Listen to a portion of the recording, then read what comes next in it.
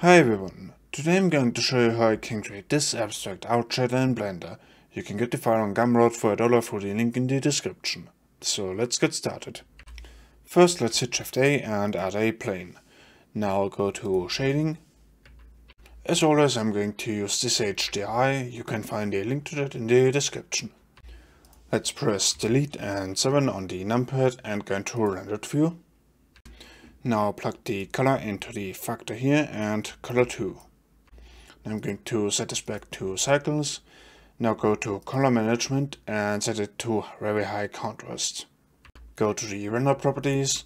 I'm going to use cycles for this, but you can also use Eevee. If you use Eevee, make sure to enable ambient occlusion, bloom and screen space reflections. Click on new and let's add a Voronoi texture. Put that here.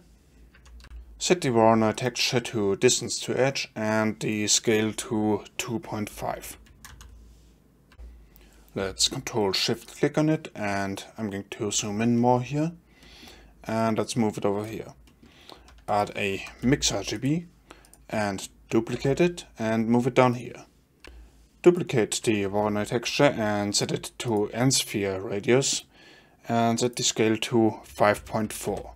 Now plug the radius into the color 2. Set the scale to 1. Now go here and add a Musgrave texture and put it here. Duplicate the Voronoi texture and press F3 and type in reset node.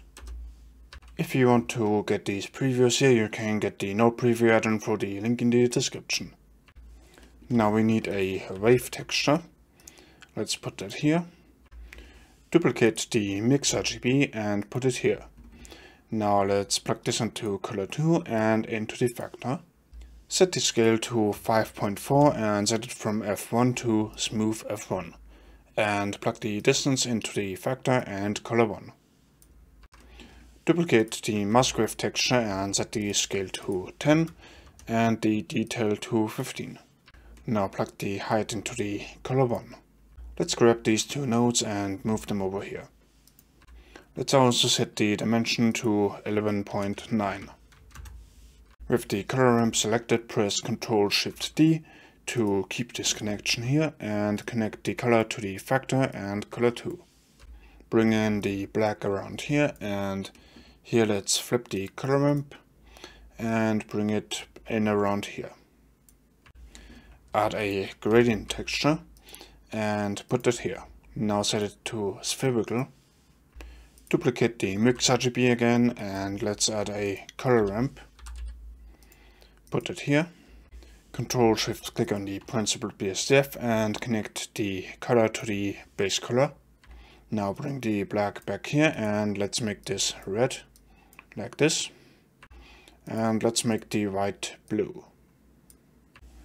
Now let's save.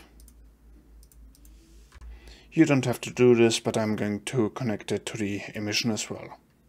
Let's also connect it to the normal and Shift A and add a bump node. And let's use the height.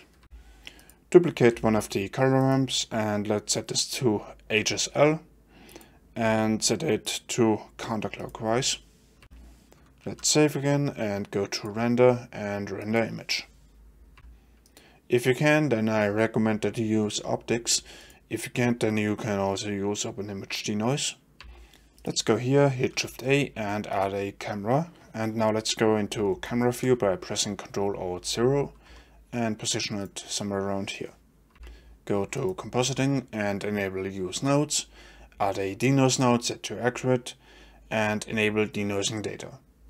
Now go to the render properties. I'm going to render it at 128 samples with denoise enabled. So that's it with the tutorial. I hope you liked it. Please let me know what I should do next and I'll see you next time.